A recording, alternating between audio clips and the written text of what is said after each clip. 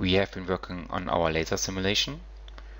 So what's significant about this simulation is the fact that the actual workpiece or the stock model is very thin and the tool, in this case the laser of course, is also very thin. So the cut that we generate is uh, very narrow. Let's zoom into a specific area, maybe this one here.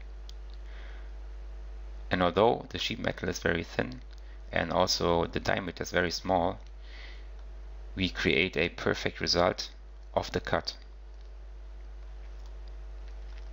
Right, let's continue.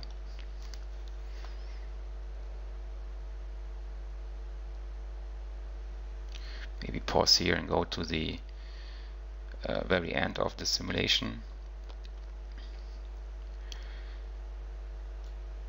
You see that the rest material is being removed and this is the result after the simulation and um, for the inside and outside contours we get this well, nearly perfect graphical representation of the removed uh, material and the edges.